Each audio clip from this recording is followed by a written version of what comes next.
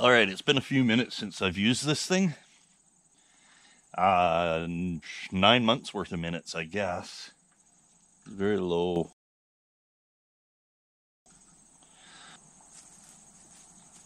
As for what kind of oil I'm using, I'm using the slippery kind. Cheap 5W30.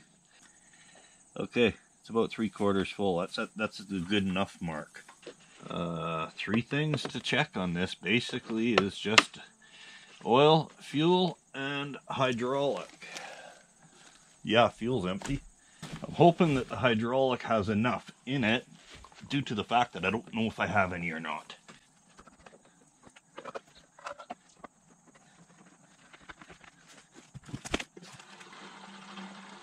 These spouts are garbage.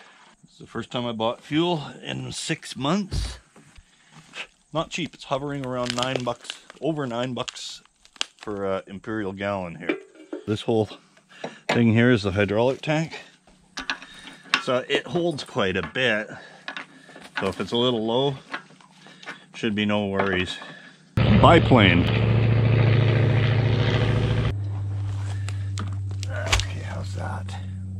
Hardly spilled none. Yeah, that looks fine.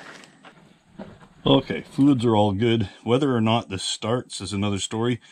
The pull cord is very short. It's broken a few times. I might have to put a new pull cord on it. And it's not it's not retracting like it should either. So it's still summertime here. I, I usually don't split wood in the summertime, but uh, I just happened to run across some for cheap and I bought it. It's another thing, I, I usually don't buy wood very often either. But this price, I, I couldn't say no because even if I do get enough firewood this winter, for this winter, I'll be able to sell a bunch. And even if I sell it cheap to friends and whatnot, I'll still make money on it. It was that cheap. Let's see if this thing goes or not. Wasp nest, mud wasps.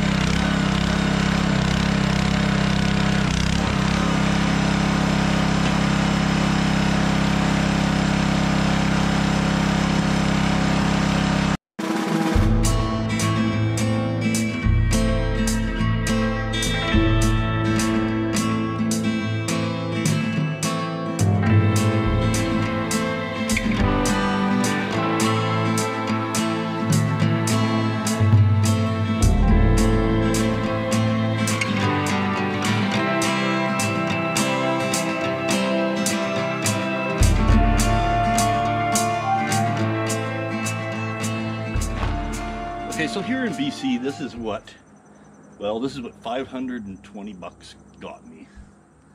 That's uh, four kind of heaping pickup loads full.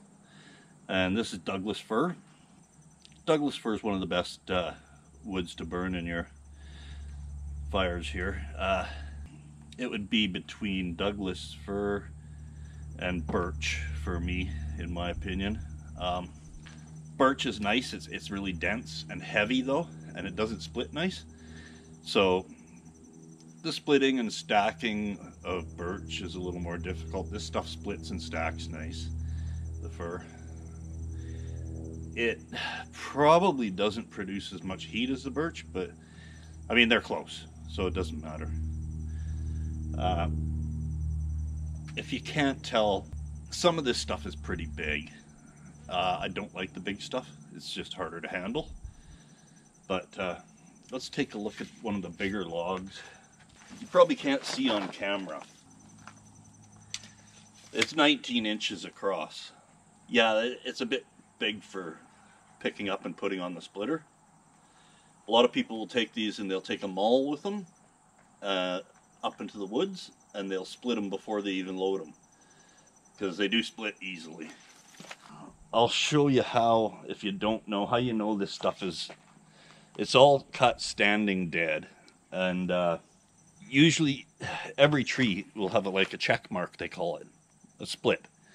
It won't take up the whole, it won't go through the whole tree usually, but uh, for a good part of the tree there will be a split in the wood. That means it's dry and ready. There, you can see the splits in the wood here. And those splits, they really help for when you go to split the wood, especially if you're using an axe or something. But you see the splits. They all, all got little splits in them. So you just hit it on the split and it's it splits like nothing, like butter. Now this, this pile, it would probably be enough to last us all winter.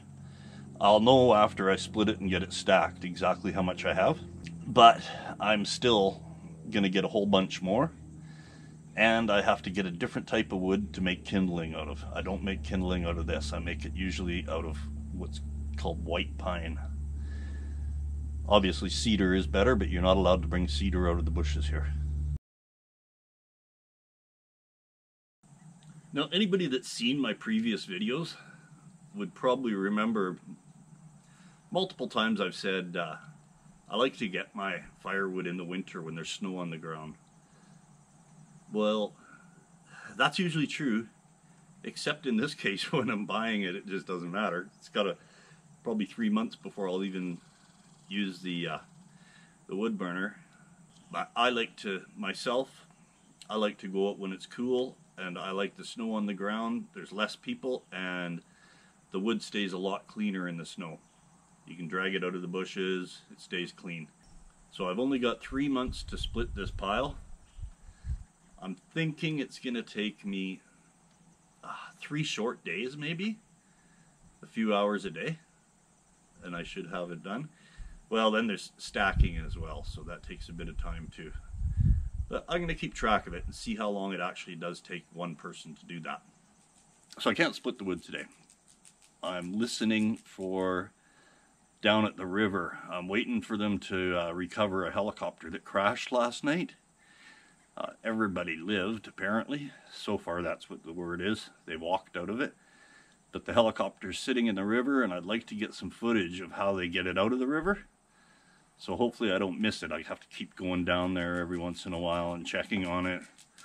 Uh, who knows how long it's going to sit there with I could see that fisheries wouldn't want it sitting in the it's sitting right on the salmon spawning beds and uh, as far as that goes like the aviation people probably want to investigate before it's moved. So we'll see how that plays out